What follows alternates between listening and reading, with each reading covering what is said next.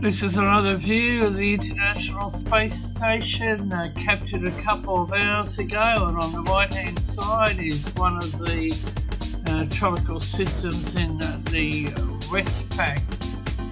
However, in this update we have a look at what's going on in the East Pack. Welcome to another update from the uh, Force 13 where the National Hurricane Has upgraded Tropical Storm Lane to hurricane status and Lane becomes the sixth hurricane of the 2018 Pacific season and is expected to strengthen into a major hurricane by Saturday. This is the life of Lane up to earlier today.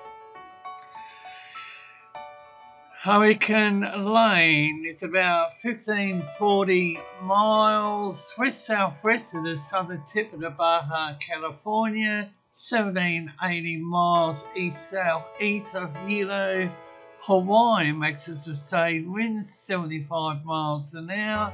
It's moving west northwest at 15 miles per hour, and central pressure is 992. Now here's a look at what the NHC is saying and we start off with their track cone.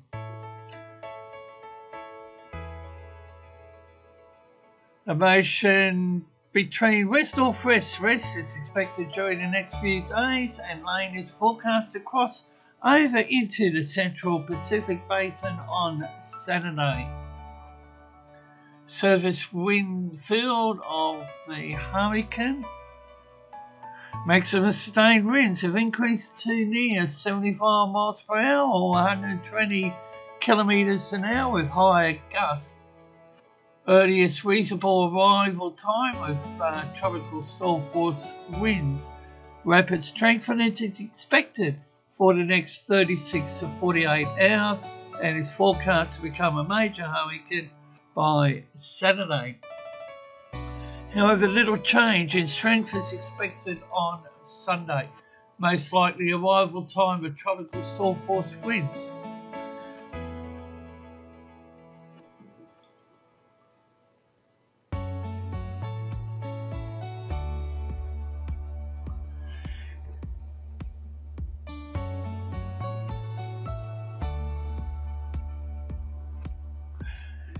The Joint Typhoon Warning Centre has issued a tropical cyclone formation alert for, I think it's 91W. They finalised their warnings on Bebinca and Rumbia.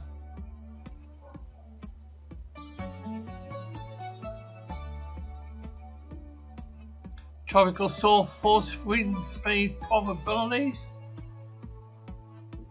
and again, the people with the big iron will be keeping a close eye on Lane. And the Joint Typhoon Warning Centre's current advisory indicates 1463 nautical miles south southwest of San Diego, taking west northwest of 14 knots over the last six hours.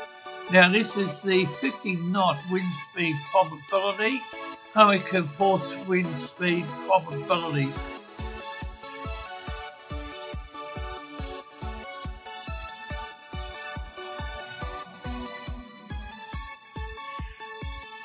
Wave height is 20 feet. Now here's a look at another satellite imagery of Hurricane Lane.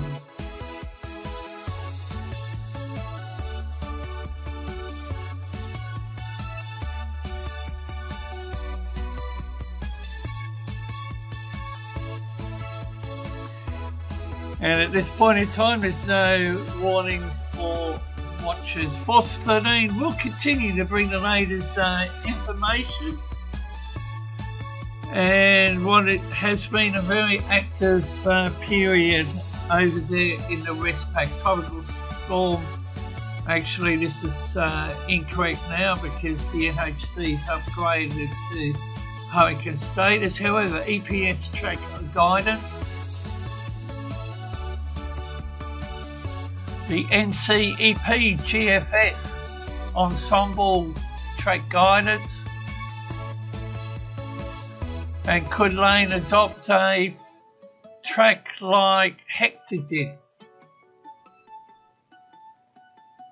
Now we have a look at some uh, precipitation. This is uh, 14 member to make up this image and 14 unofficial members. All this information is available on the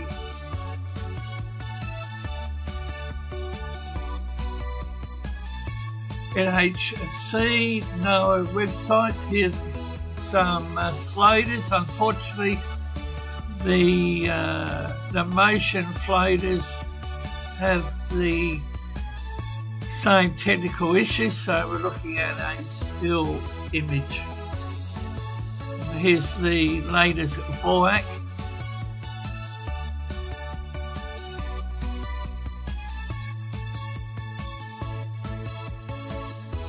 Visible infrared microwave satellite imagery indicate that Lane's overall cloud pattern has continued to improve with several spiral bands and a more symmetrical outflow pattern having developed, although the inner core convection has deteriorated somewhat until just recently due to the entrainment of dry air microwave image indicates that a well-defined inner core low-level eye feature has formed.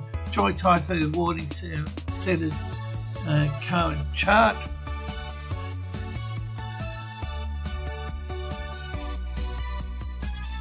So the NHC is saying that Lane is developing a inner core and a low-level eye feature. However, a nearly closed ring of cold top convection has developed near the centre, so the intensity is set at 65 knots at the advisory time. The upper level divergence.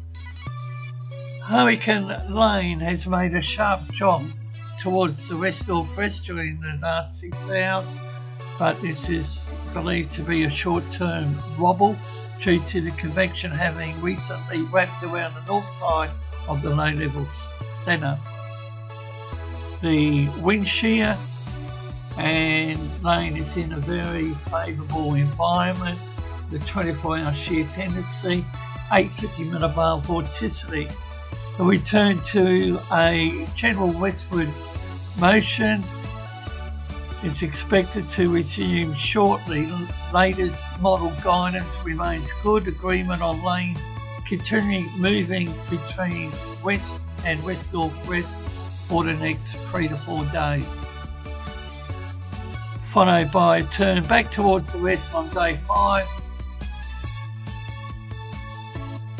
You can follow Force 13's outlets, the website force13.com, which has had a revamp and is still under reconstruction, but take a look. Also, YouTube, of course, if you haven't subscribed, that might be a good idea. Visit Force 13. We're also on Facebook under the same name, of course, and you can like us on there, and you can also follow us on Twitter. Search Force 13, all in text for those. You can also add Force 13 on Skype or my personal account on Discord, Fool13, at extension 9094.